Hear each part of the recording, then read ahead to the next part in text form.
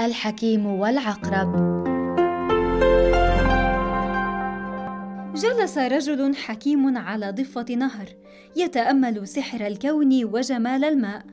فرأى عقربا وقعت في الماء.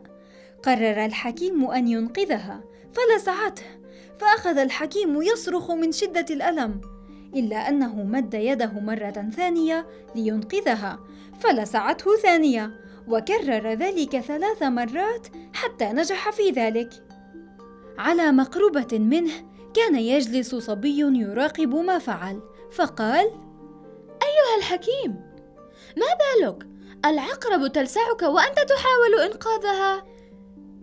رد الحكيم يا بني من طبع العقرب أن تلسع ومن طبعي أن أساعد وأعطف فلا أريد أن يغلب طبعها طبعي.